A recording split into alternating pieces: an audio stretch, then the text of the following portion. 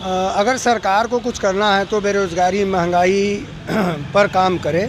देश का नाम परिवर्तित करने से देश की व्यवस्थाएँ नहीं बदल जाएँगी। आम जनता बेरोज़गारी, महँगाई समेत अन्य संसाधनों से पीड़ित है। ऐसे में सरकार को इन मुद्दों पर ज़ोर देना चाहिए। भारत और इंडिया में कोई अंतर नहीं है। हम कहीं भी जाते हैं विदेशों में तो हम बताते हैं कि हम इंडिया से हैं। और अगला भी ये समझता है कि इंडिया को ही भारत कहते हैं। तो भारत और इंडिया में कोई अंतर नहीं है। अगर सरकार को बदलना है तो अपनी मानसिकता बदलते हुए देश को विकसित करने का काम करे और देश के लोग भारत को विकसित भारत कहें, तब तो एक अच्छी बात है। लेकिन अगर आप इंडिया और भारत में बवाल करके देश की जनता को बरगलाने का काम करते हैं तो मेरे हिसाब से यह बहुत गलत है।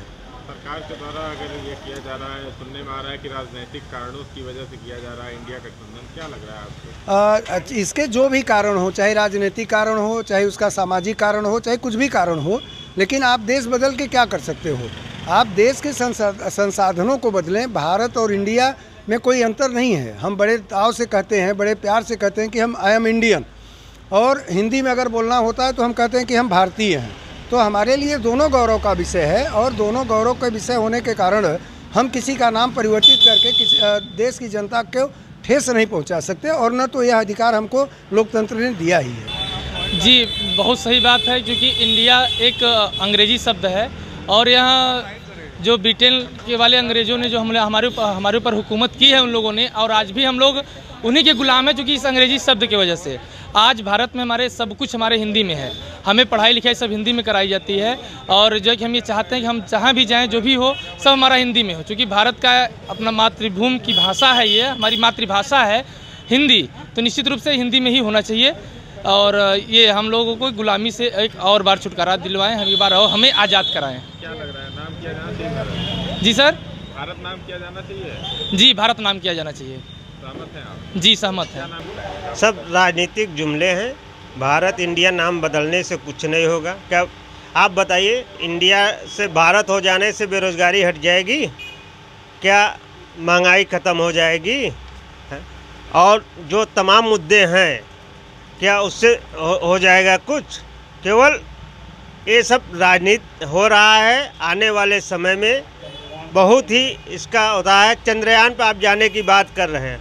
और यहाँ अब आप इंडिया, सिर्फ़ नाम बदलने वाली प्रक्रिया हो रही भारत, इंडिया, इससे कुछ नहीं होने वाला है। और सीधे अगर प्रधानमंत्री जी से हम अनुरोध यही करेंगे कि आप देश का विकास करिए, जिससे बेरोजगारी, महँगाई और तमाम जो मुद्दे हैं, उसको दूर किया जा सके।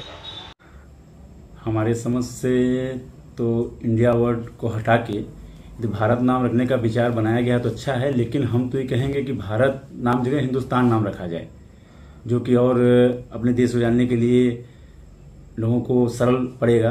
तो इसलिए हिंदुस्तान नाम हम तो यही चाहेंगे। हिंदुस्तान के हैं, भारत के हैं। तो इंग्लिश वर्ड का जो यूज़ अंग्रेज़ आज इतने साल देश आज़ाद हो गया, लेकिन अभी भी हम लोग अंग्रेज़ी वर्ड उनके यूज़ कर रहे हैं। इसलिए हमारे समझ से तो हिंदी वर्ड का यूज़ होना चाहिए। जिससे कि आने वाली जो पीढ़ी है हमारी जो भाषा है इसको समझेगी और एक अलग संदेश जाएगा हिंदुस्तान के लिए। तो आप क्या मांग करते हैं? क्या नाम किया जाना चाहिए? हम चाहते हैं कि हमारे समझ से हिंदुस्तान नाम हो देश का। अगर सरकार ऐसा करती है तो अच्छा होगा कोई इसमें विशेष बात नहीं है लेकिन किसी भी व्यक्ति के अगर कई नाम हो जाते हैं तो कन्फ्यूज़न पैदा होता है।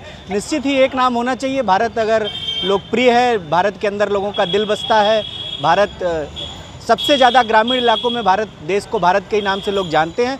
इसलिए अगर इंडिया नाम बदल हटाने की बात हो रही है तो कहीं कोई दिक्कत नहीं होनी चाहिए किसी को और इससे कोई बहुत बड़ा ये मुद्दा नहीं लोग कह रहे हैं कि इंडिया गठबंधन की वजह से ऐसा हो रहा है। क्या आपको लग रहा है इंडिया गठबंधन की वजह इंडिया गठबंधन तो कहीं दूर दूर तक है ही नहीं। पहले वो ये एक प्रकार का ठगबंधन है। पहले ये आपस में तय कर लें कि इनका नेता कौन होगा इस बारात का दुल्हा कौन होगा। उसके बाद फिर ये देखा जाएगा कि इनकी वजह से क्या हो रहा है।